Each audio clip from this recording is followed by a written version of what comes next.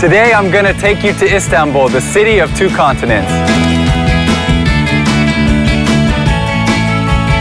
With Europe at my back and Asia in front of me, this is the Bosphorus, the slender strait that gracefully separates the two continents.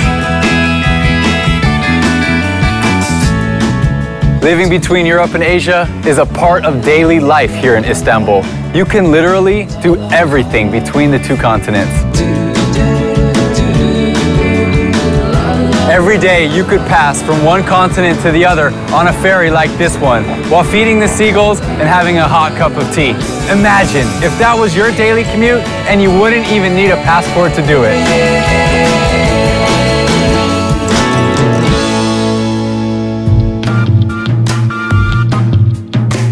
If you want to escape the heat, you can even jump into the Bosphorus or a pool between two continents.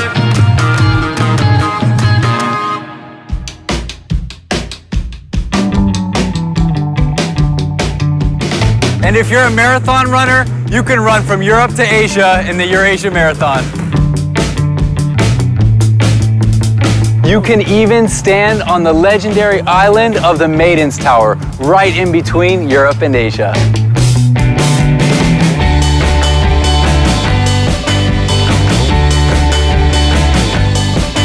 Discover all this and more in Turkey, home of two continents.